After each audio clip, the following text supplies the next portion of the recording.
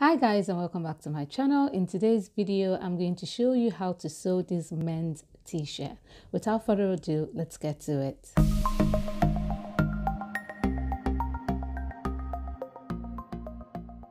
So to begin, we're going to be needing the following tools. So I have my black and gray knitted fabric or jersey fabric, my fabric scissors, my tape measure, some pins, and the bodice pattern for the men's t-shirt which I showed you in my previous video. So I have the bodice pattern and the sleeves pattern which I'm going to use to cut my fabric. So the first step is to place our front and back pattern panels on the fabrics and then cut them out. The same goes for the sleeves. So I've already done that off camera so I'm just showing you the panels that I have so the next step is to place our front and back panels together, front sides facing each other. Then I'm going to ensure that my shoulder points are properly aligned. Once I do that, I'm going to sew on half an inch sewing allowance. Then I'm going to overlock it to give it a more polished look.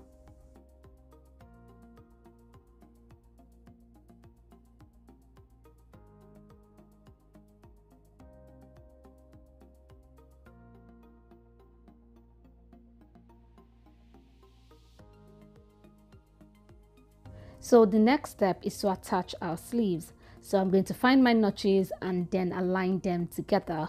Once I do that, I'm going to secure it with some pins, which is going to help me while I'm sewing so I don't overstretch my sleeves. And I'm going to be sewing on half an inch sewing allowance, then I'm going to overlock it.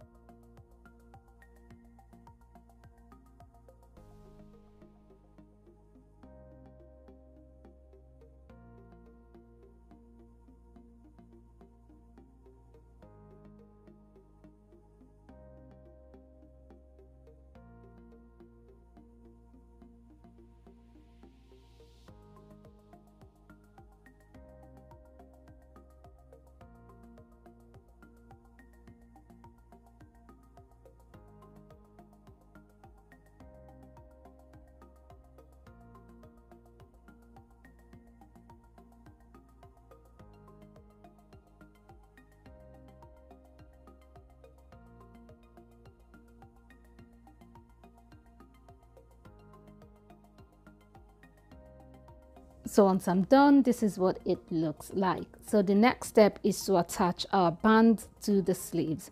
So if you've watched my previous video which I'm going to link above and in the description box below I showed you guys how to attach a band to a sleeve. So I'm going to use the same method here. So once I'm done this is what it looks like. So the next step is to sew the sides. So wrong sides facing up I'm going to sew on half an inch sewing allowance and then I'm going to overlock. However while I was sewing I decided to add some stripes to my t-shirt just to give it a bit of a design and not make it look really plain. So I added three stripes. Now I would be showing you in my next video how I did this. So look out for the next video so I'm going to be measuring my t-shirt to make sure that I have my overall full length, which is 27 inches.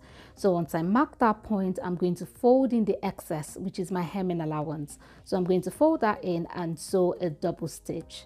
Once I'm done, this is what it looks like. Now the next step is to sew in our neckband.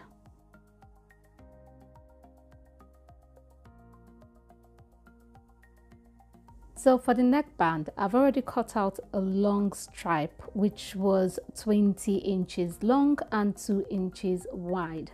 So what I'm going to do is to show you an easy method to attach a neckband. So you're going to first of all find the shoulder point and mark one inch away from the shoulder point. So we're going to do that on both sides. So one inch away. So once we do that, we're going to get the band. Now on that band, you're going to start two inches away from the, from the top of the band. So two inches away and then we're going to start sewing from that first mark.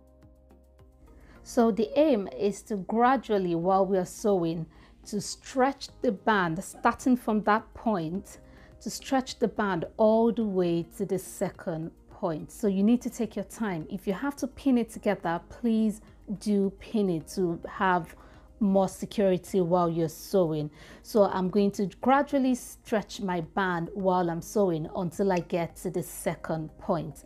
Now, once I get to the second point, I will I will have excess fabric. Now, do not trim off the excess fabric. The only time you're allowed to trim it off is when you have a lot. So let's say you have five inches of extra fabric left because you really need probably like two inches. So once you're done sewing, you should have something like this. So you need to trim off the excess that you have if it's really long. So for me, I'm just going to trim one of them. So now we need to close the gap. So before you do that, you need to measure what you have left on the neckline and then use that for the neckband. Now remember that we need to stretch the neckband on the neckline. So whatever measurement you have on the neckline, just take out a bit and then use that on the neckband. So you still have to stretch that on the neckline if you get what I mean.